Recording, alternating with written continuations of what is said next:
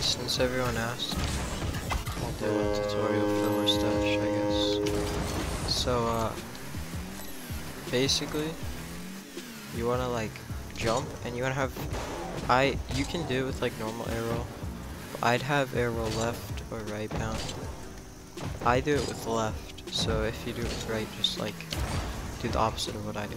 So, I do it in Octane also, but you can do any card. Okay. So, you want to jump and like put your wheels to the left like this. So it's landing on these two wheels and not that much. And then you want to like pull it back like this. So you're only landing on the back left tire. Or right, like this.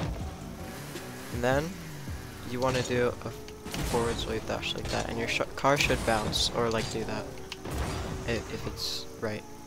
It has to be, if you look at my stick, it has to be directly up. And then you want to go down after that. And it takes me four tries and it'll look like that.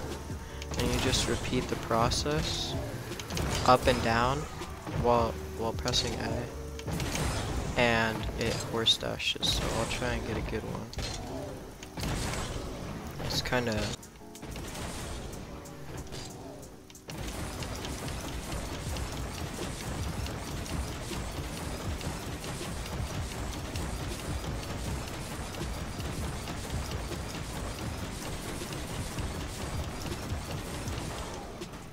So yeah, just like that.